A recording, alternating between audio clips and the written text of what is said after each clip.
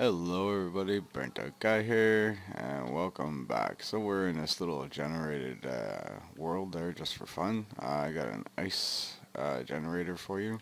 Um, it's also using one of Broadbent's uh, block update detectors. I think this was really cool just to throw it into a little project. Um, something different to throw at all of you. So what happens is the ice forms here it gets pushed out here and as soon as it gets pushed out it's detected by this torch and then it sends a signal back here resetting this piston and uh, yeah that's pretty much all it so say if this was a piece of um, ice it would go out reform your water would be back and ready to form another piece of ice and so forth and off it goes and everything is nicely done uh, here's another one. Uh, Leggy Eclipse came up with this one. Um, for some reason it doesn't always work though. Uh, there, there we go. So the ice would form and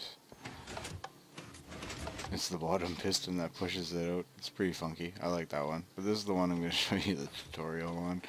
Um, so yeah, so you're going to need a 5 by 6 area and I think it's only like one, two, three, four, I guess five high and if you count these blocks that these are on then it'd be four so depending on how you want to look at it alright so first you're gonna have this like this so I'm gonna do it so it's kinda like uh, oh, I guess if I would have done it like that it would have been non-directional but it doesn't matter.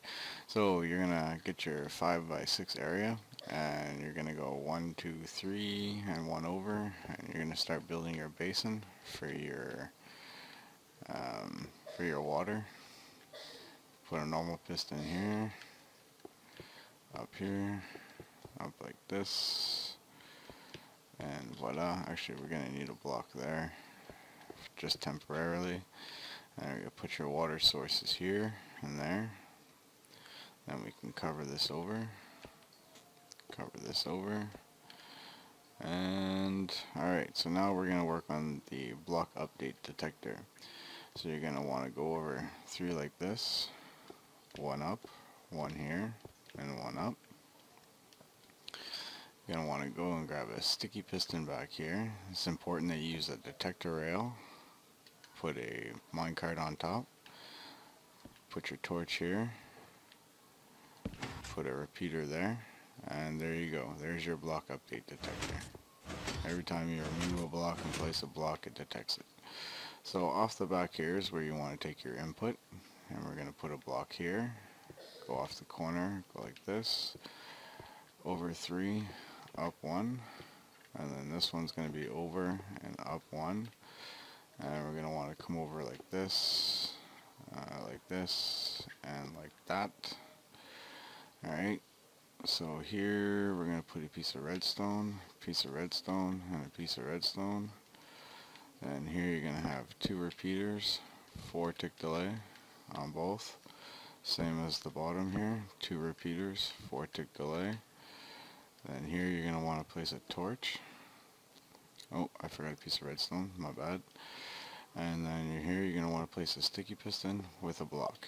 So now when the ice forms, it resets and the whole thing is done so that is your ice machine and there we go as you see ice just formed and the ice is right back there because you can kind of see through it and it's not leaking on the ground. There you go. Ice actually is forming very fast here which is nice. Um, sometimes it doesn't form very fast. I guess it depends on where it's located uh, because it has to do update checks on all the water around it. So be mindful also where you put stuff like this. Um, so you probably want an area where you're pretty far away from water, but at the same time too in the middle of your snow biome. So that's it everybody. I hope you enjoyed this little tutorial on my uh, ice uh, maker. And uh, thanks Broadbent for a really cool um, block update detector. Peace everybody.